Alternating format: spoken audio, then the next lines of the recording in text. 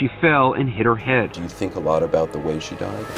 This doctor who looked all of 17 uh, showed me her x-ray. As if someone had just grabbed my gut and just twisted it. When someone with a traumatic brain injury appears normal, but blood is building in the brain. Publicly, you haven't spoken about her. It's nobody's business. He went back to work just days after Natasha's funeral. What happened? Dad approached me and didn't really tell me much. I just didn't want to. They seemed to be wallowing, especially for my boys. I think that there is nothing you won't do for someone you love. Everyone lets everyone down at some point. You didn't need to be a rocket scientist to see what was happening, you know. She's gone. Do you think she had any idea about what could go wrong?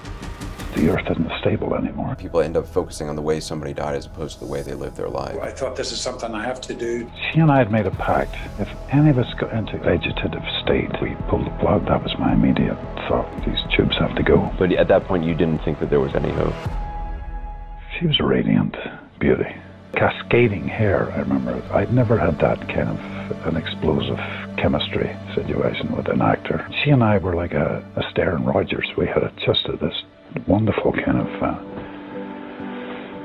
uh, dance, free dance on, on stage every night. You know, a lot of people said that they saw them kind of fall in love on on the stage. After the ceremony, we were all going in to start the night's festivities, and she grabbed the microphone. Behind my back, Natasha had been taking singing lessons. Incredible. Yeah.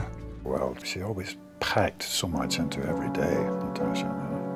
So maybe she knew maybe she wasn't destined to be on this earth for a long period of time. I have this charmed life of having a fam, a strong family life, and my two little baby boys and my husband. She cared for everybody. She has a motherly instinct. Just looked looked after us all, you know.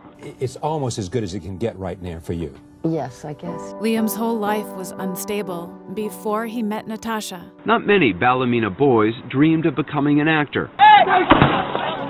At the time, Belfast was a dangerous place because of clashes over British rule. Neeson saw acting as an escape. He never expected to feel that way again until his perfect life came crashing down. In March 2009, Natasha was on a ski vacation in Quebec, Canada with her oldest son, Michael. She was coming down a beginner's slope on Mont Tremblant when she fell and hit her head. She wasn't wearing a helmet. And then I flew up immediately, and uh, this doctor uh, showed me her x-ray, and you didn't need to be a rocket scientist to see what was happening, you know. Uh, I was told she was brain dead, and seeing this x-ray was like, wow, you know. I went into her and told her I loved her, said, sweetie, you're not coming back from this. Uh, you've banged your head. It's, I don't know if you can hear me, but we're bringing you back to New York. All your family and friends will come. Do you think she had any idea about what could go wrong? No, of course not. Who, who would, you know? Crippled by his grief, Liam buried himself in his work, but Natasha followed him wherever he went. He went back to work just days after Natasha's funeral, and he's worked nearly non-stop ever since. I'm not good with without work. I just don't. I, I wallow too much, you know, and I, I just didn't want to, especially for my boys, to be seen to be wallowing in sadness or depression. Or there's there's periods when I hear the door opening. She would always drop the keys in the on the table, and say hello. So anytime I hear that door opening, I still think I'm going to hear her, you know. And then it's it's uh, grief's like. It's like a wave. You just get this profound feeling of instability. You feel like a three-legged table. Just suddenly, you just the earth isn't stable anymore. Liam was desperate to be there for his son Michael, but he choked up when he needed him most. Bono was a pal, and he came round to have a dinner.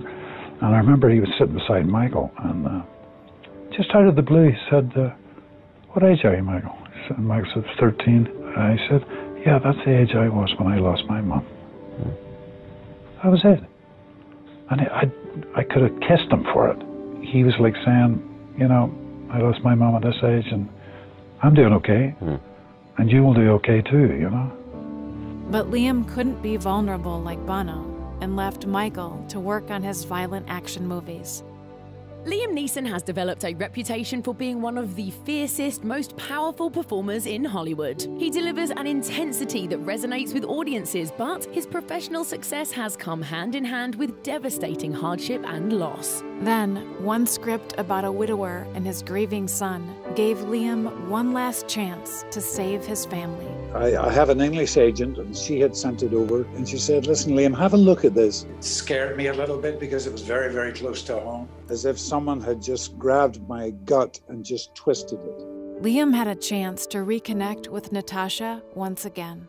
And she says, "Why do you want to do it?" And I said something like, "If I don't do it, I'll curl up and die." I thought this is something I have to do. And I thought, gosh, this would be fantastic if I could do it with Michael. Dad approached me and didn't really tell me much. He just sort of said, Michael, I want you to read this. There was something really exciting about that and sort of honoring mom in that way. Ready to embrace his grief, Liam started healing with Michael for the very first time. He sort of looked at me after he read it. I looked at him and I said, "Look, what do you think? Do you want to? Should we? Should we try and go through this together?" It was quite cathartic in many ways for both of us. The start of film, a beautiful butterfly flew between us. Um, after the scene, I said, Michael, did you see that? He says, what? I said, did you see the butterfly? And Michael said, no, I didn't, I didn't. And, and you said, Natasha's with us.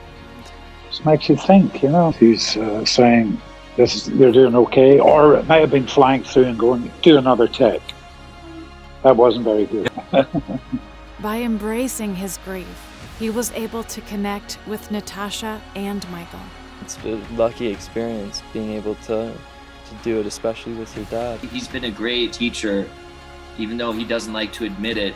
He has taught me a lot of really great things. A wonderful feeling of, yes, this terrible thing has happened, but we're all connected.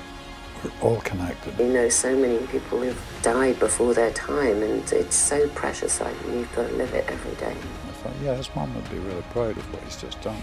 Everyone lets everyone down at some point. How you come back from that? We all know how important that is.